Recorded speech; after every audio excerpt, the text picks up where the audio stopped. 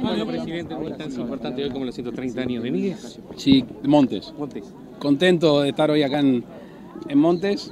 Eh, hace muchos años que, que tenemos amigos, que tenemos eh, gente conocida, un pueblo que ha tenido que, que pelear cada acontecimiento para, para la zona.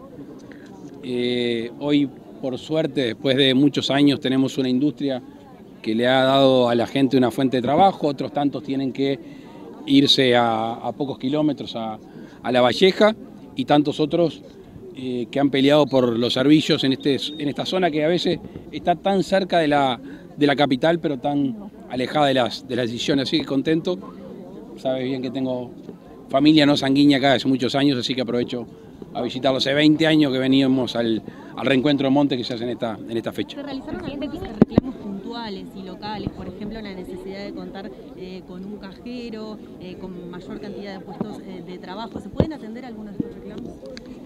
Em, el tema del, del, cajero en realidad está acompañado también de un tema de, seguridad o más presencia policial. Me llega un reclamo, ustedes ven que siempre nos arriman cartitas, sobres.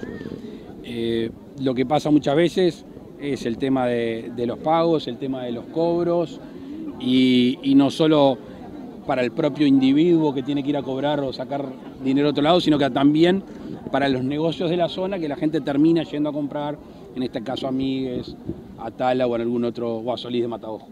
Eh, así que es un, un, reclamo que obviamente nos llevamos en, en la mochila de los tantos pedidos que, que no ocupan titulares en la prensa, pero que son importantes para las comunidades.